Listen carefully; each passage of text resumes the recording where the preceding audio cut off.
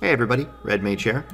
Welcome back to this series where I go through various RPG products that I have and give them a quick flip through and review. In this one, I'm going to be going through two supplemental books for Shadowdark Unnatural Selection and Into the Shadowlands. These two PDFs, uh, I, am going to be getting the physical copy of Unnatural Selection. I backed the, the uh, Kickstarter, and, and, this is, you know, just came, I think, a couple days before Christmas, this PDF. So it's, it's really brand new. I'm not sure it's available to everybody yet, but it will be. Uh, but Into the Shadowlands is. You can get that on DriveThru RPG.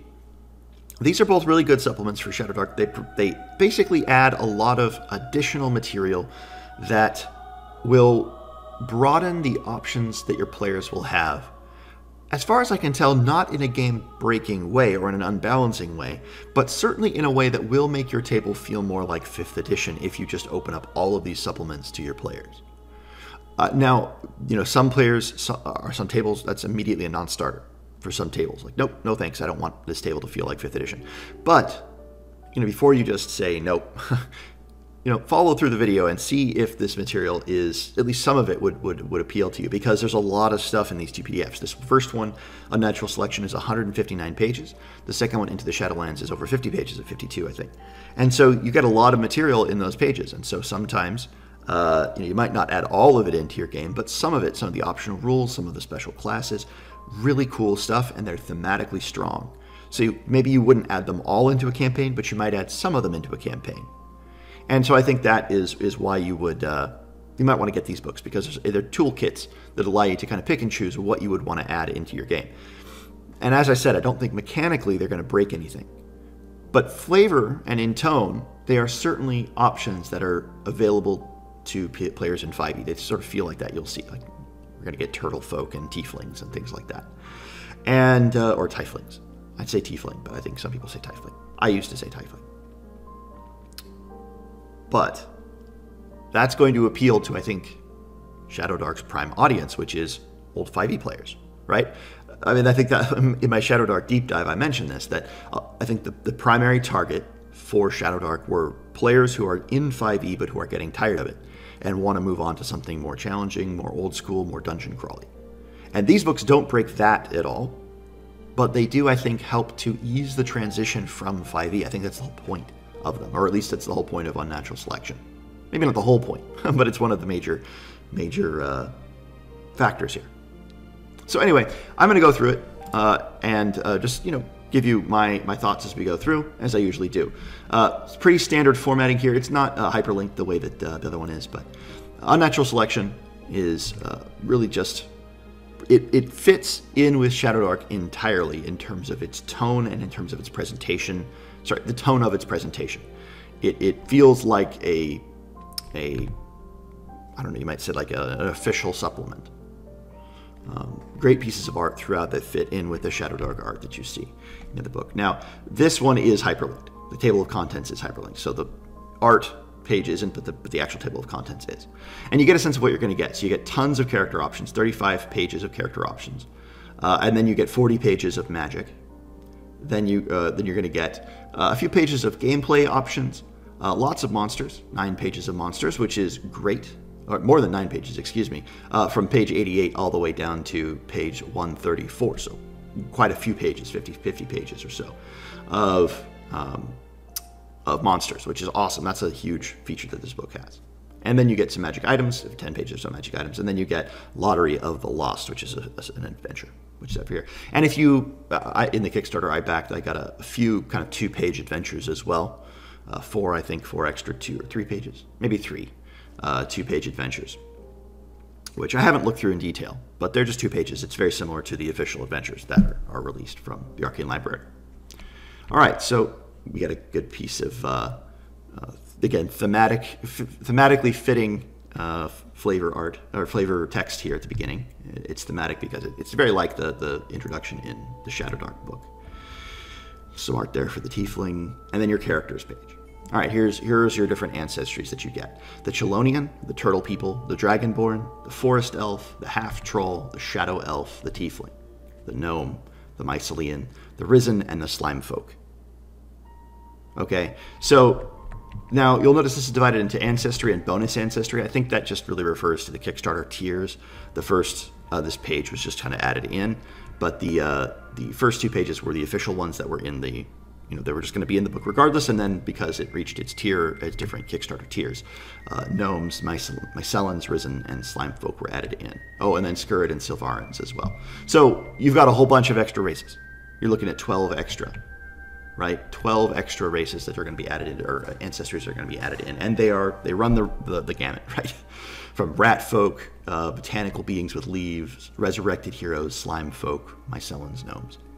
You get the point now, again, are you going to use all of these in any game? Well, if you do, you're going to definitely have a table that feels more like 5e. You're going to have much more. Um, you know, you could run a Forgotten Realms campaign and use all these races, and they'd fit right in. Uh, but mo- more likely, right, you're going to pick the ones that you like and add those into a campaign. You know, the way that you, I think, you could do with any any book of, of races and things like that. These are cool, and again, they don't seem broken, but they do seem pretty good, and I think some of these are fun it would be fun to play. Slime form is pretty cool from the slime folk. Uh, would I allow all of these at my table? Probably not. But I think uh, I know that some of my 5e players would really like to play Dragonborn or uh, maybe, or Skurrids. I think especially with this piece of art here. I think one of my players who's younger would look at this and go, "Oh, I want to play a Skurrid, a rat folk." Then you get the new classes, and I think these are really the highlight of the character options here because I really like these these these these uh, classes. You get the Beastmaster class, which is sort of a transforming kind of creature. Uh, you transform into a humanoid form or into a beast form. You can shift back and forth. It's kind of interesting. Um, you get the Fiend class, which is sort of like, I guess, a, a flame warlock it's one way of putting it from from fifth edition. Firebond weapons and pyromancy. Uh, and you get some talents here, and they're really interesting. You get the D12 for uh, what do you call them? Talents. Yeah, excuse me. I, could, I was looking at the word talents. You get a D12 instead of 2D6, so it's totally random here what you're going to get. The Grave Warden is a really cool one. Now, I had access to this because I had kickstarted it. This was one of the previews. I had access to the Grave Warden and I offered it as a, as a class option for Curse of Strahd. No one picked it, but I offered it. This is essentially like a Reaper. You're using scythes and daggers, and you're casting Grave Warden spells, and you're claiming undead. Basically, you're taking control of undead and, and making them do your bidding. It's a really cool idea. And there's a whole list of Grave Warden spells that you can learn. They're specific. There's the Ovate, which is Custodians of Nature's Balance. Seems like a druid or something like that. Um, and then the Plague Doctor. This was another one that I had access to, and I added it in. Again, no one picked it, but someone, one of my players, came very close to picking it. Shadow Veiled Alchemical Apothecaries. These guys are really cool. I like the Plague Doctor quite a bit. Uh, it would fit right in with certain kinds of campaigns. As I said, like in Curse of the way I was running it, it would have worked perfectly. Um, I'm kind of sad that no one picked it. you have Mesmerize Insect. That's kind of funny. Uh, you have a Mask Infusion, and you have Elixirs. Basically, you can use them, and they do special things. Kind of like, kind of like Rangers from Shadowdark. And I realized, you know, I didn't cover the Shadowdark Ranger or Bard, which are technically official or sort of official, but they're not in the Prime book. They're second secondary uh, material that's been added in. They might be in the print version, I'm not sure, but they're not in the PDF. Then you get the Shaman or the Shaman. Indispensable medicine men and oracles serve as healers, guardians of ancient wisdom, and conduits between the tangible and ethereal realms. And there's a picture at the bottom, which is a troll shaman. That's just straight up from, you know, uh, World of Warcraft, Troll Shaman. Then you get a whole bunch of new backgrounds, and they're divided into different categories. You get untamed backgrounds, underworld backgrounds, uh, and the, that would be sort of to be um, contrasted with the initial 20 backgrounds from Shadowdark. You could add those in. You could say, you know, roll a d3 to see which background table you roll on, and then roll on. Or you could just be like, okay, if you're uh, we're playing this kind of campaign, so we're going to play an underworld campaign. So here's your underworld table, or you could mix and match to fit your own campaign, which I'd probably do.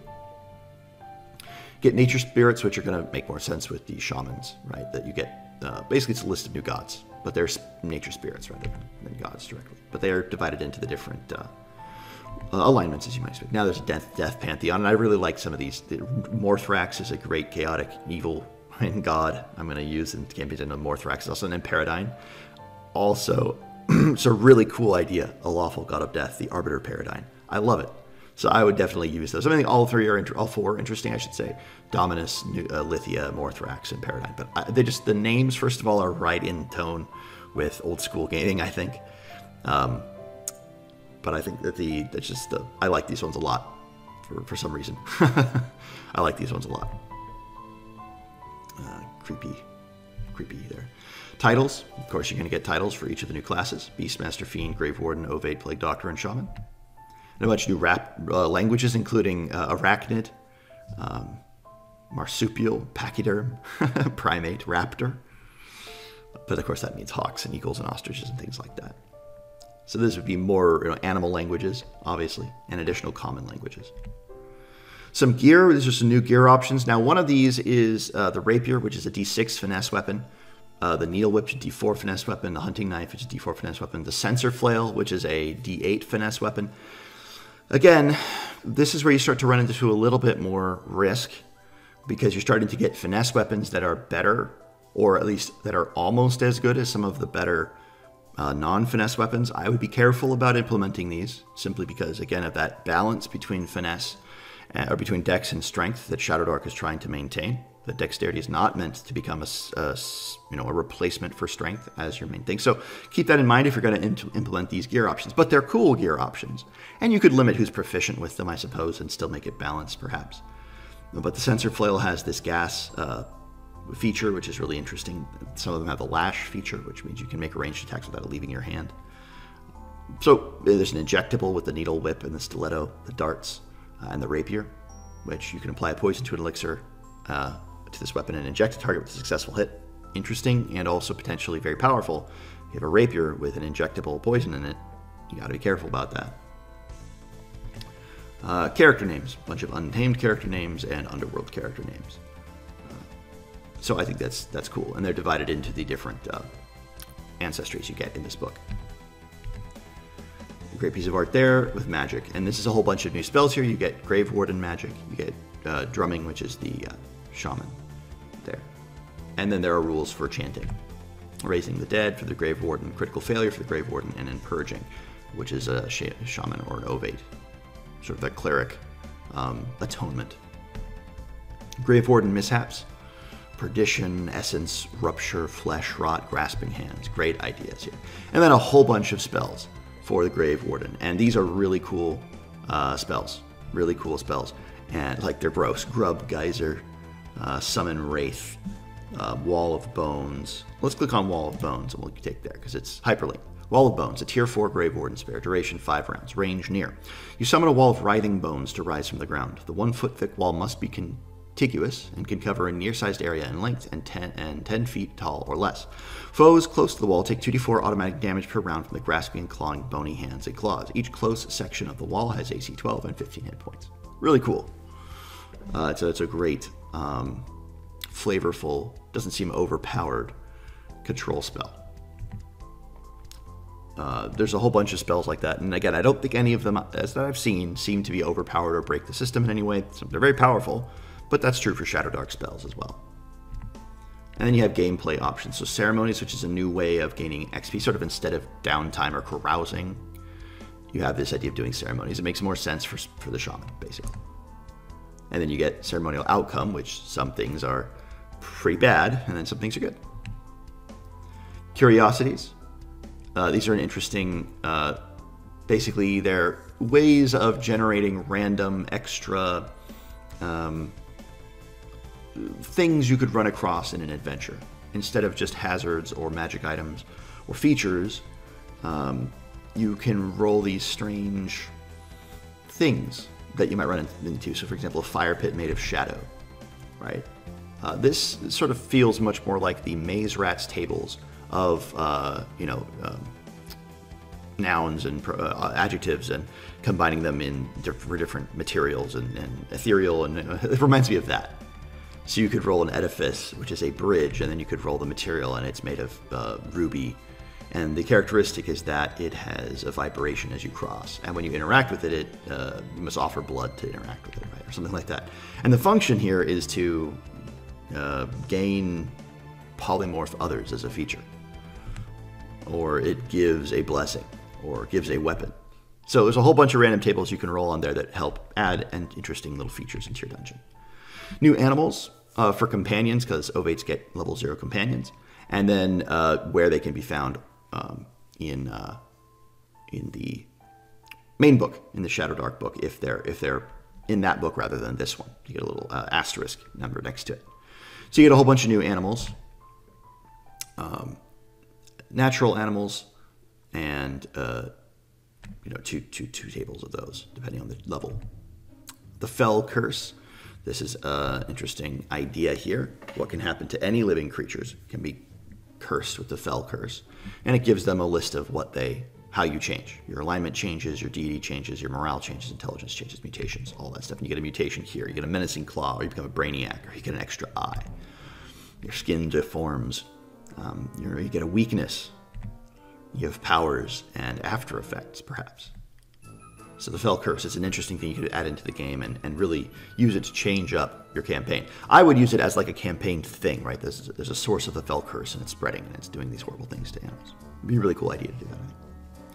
Monster statistics, you get a whole bunch of monsters, uh, a lot of animals and, and other things. Ants, giant ants, giant ants, uh, queen antelopes, uh, giant ape, uh, flying apes, darksmith apes, flying apes, as I said. Yeah, oh, the umbromancers, uh, Aranis the Cursed. It's another one of these uh, boss creatures, a fell boss creature. And then you get you know, more animals here, but not just uh, not just animals. You get some uh, plants and things like that. A blink dog, which was not in the previous game. Dragon turtles. A dread hook. Uh, the dust monster. That's really creepy. Living dust that can shift forms and clog the lungs of its victims. That's really creepy.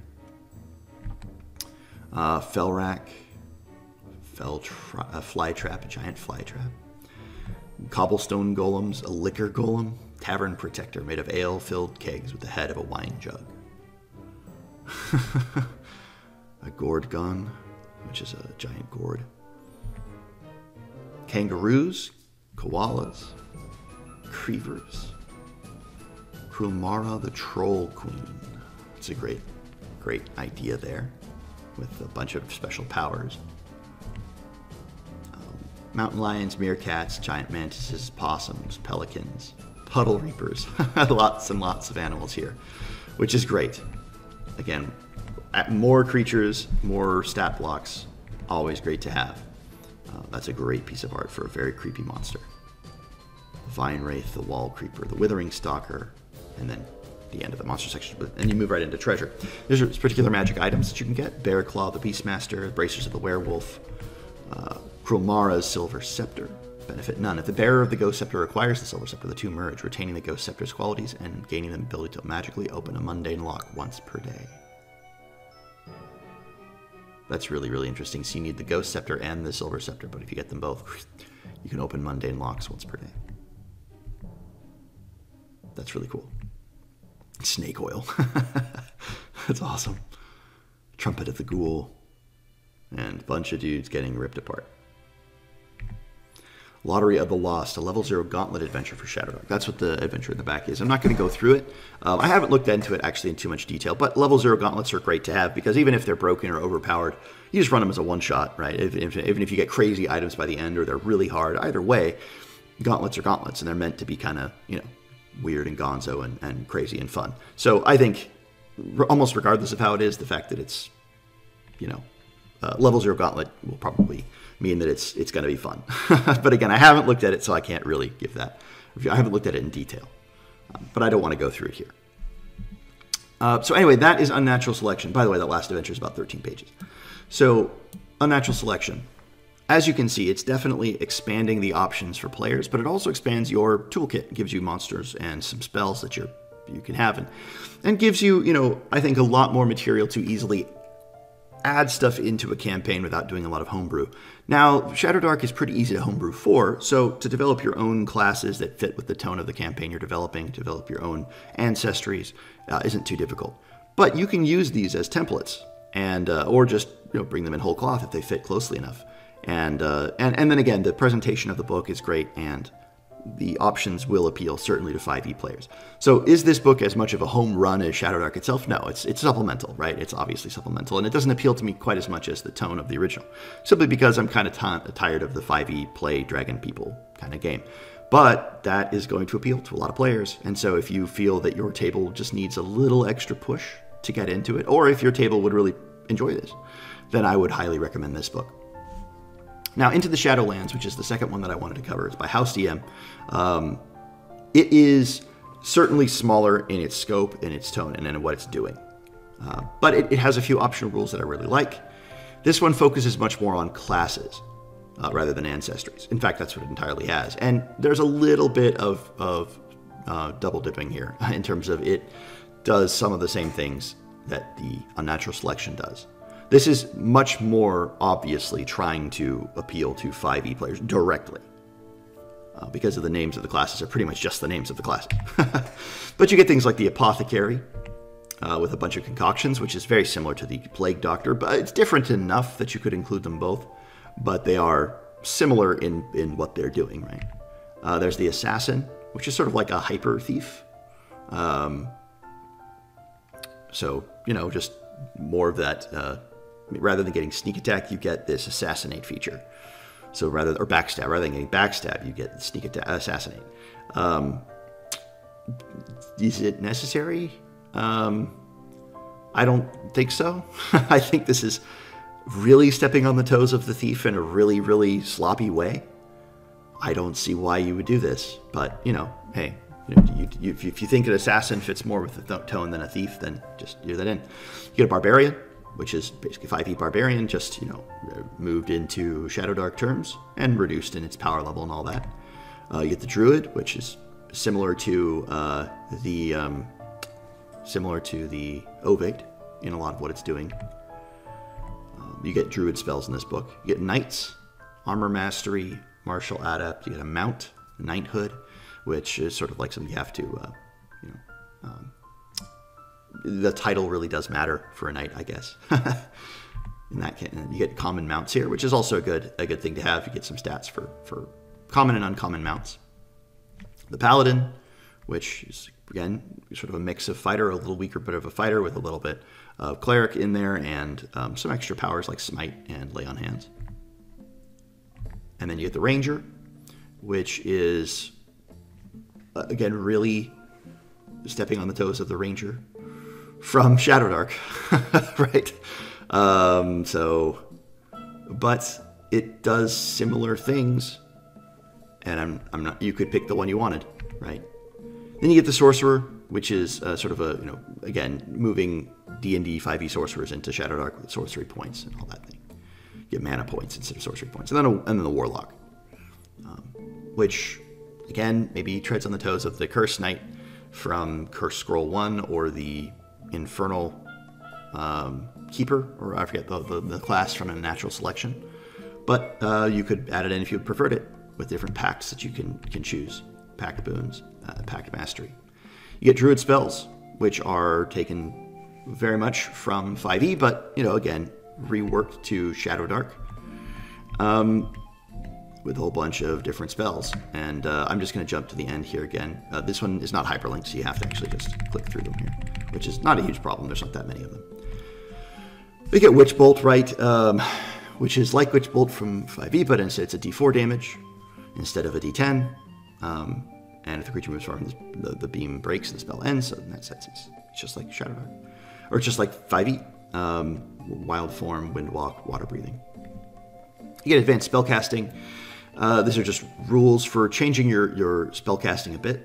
Um, if you roll natural 20, you can double the dice, double the targets, double the duration, or recover one of your failed spells. Just a way of doing this if you want. Uh, arcane Mishaps. Um, you gain one corruption. Uh, corruption is a new feature that you can add here. Um, Manalith, which is an arcane monolith. Burning spells, you can decide to, to skip. Again, these are optional rules you would add in, right? Druids, priests, and warlocks can change their spells after a rest. Burning spells, you can choose any any caster can choose to automatically succeed a spell instead of rolling for it, but then they can't cast it again until they make a check. Uh, blood magic is an optional rule. You burn down your own points, gain corruption, and uh, and cast the spell at a bonus. mishap tables, the devastation tables. Um, depending on if you get enough corruption, you get devastations and things like that. Uh, additional rules are temporary hit points, armor type, new weapons and helms, uh, new weapon armor types there with equipment exhaustion, luck tokens, default class buffs. Um, in the PDF, it says I'm still playtesting these new classes. Here are some minor adjustments to keep them in, uh, make to assist in keeping them viable choices. In other words, right, these are stronger than the initial classes. So what you're looking at here is power creep. So I think Unnatural Selection is much more careful in what it's doing. Into the Shadowlands seems like here is really here's a bunch of middle bridges to 5e, and it's definitely moving towards 5e in terms of its power level. I mean, it's obviously still within the Shadow Dark power level, but you're talking about here having to buff the base classes in order to keep them relevant.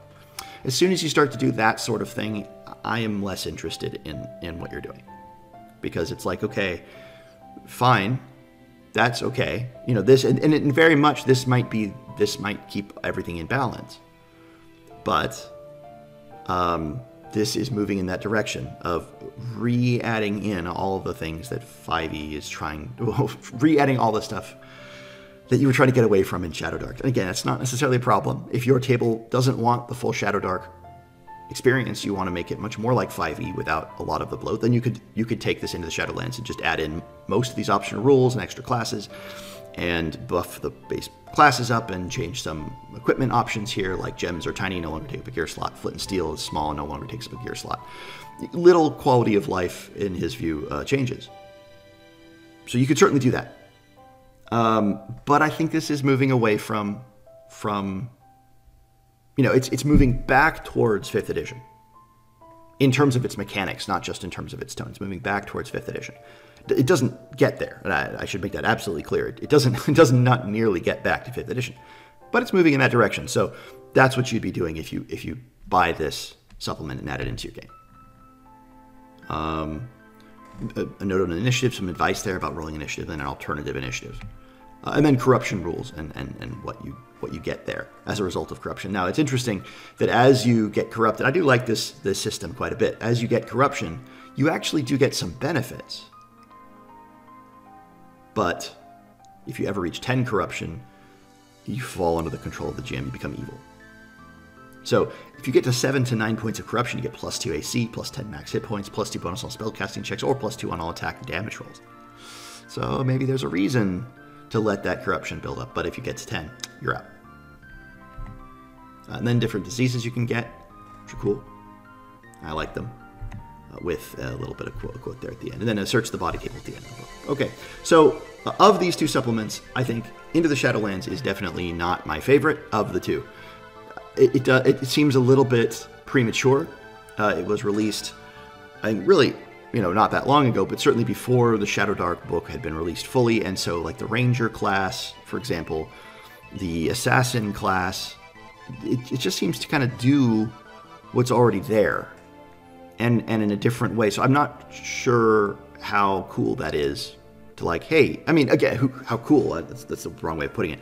How um, how useful that is because you already have those things basically. But a lot of the extra stuff you don't have. And obviously, these are two supplements Unnatural Selection into the Shadowlands. So the fact that there's, you know, cross pollination there or that there's overlap there, that's not anyone's fault. So just keep that in mind. If you're going to get both of these, then some of these features are going to be less useful. Okay, am I going to, am I going to have a druid and an ovate? Am I going to have a warlock and a, or am I going to have an alchemist and a plague doctor? Am I going to have the assassin and the thief? You're going to have to, you might pick and choose. But that would be true for any any classes or races you add into a game. You typically. so I do think that they're both good, and I think that they're both going to appeal to people who want that more fifth edition flavor and tone at their Shadow Dark game but uh, the one, Unnatural Selection, does it more with flavor and tone, and Into the Shadowlands does it more with mechanics. And I think that's worth keeping in mind. Anyway, I hope this has been interesting, and I'll see you guys in another video.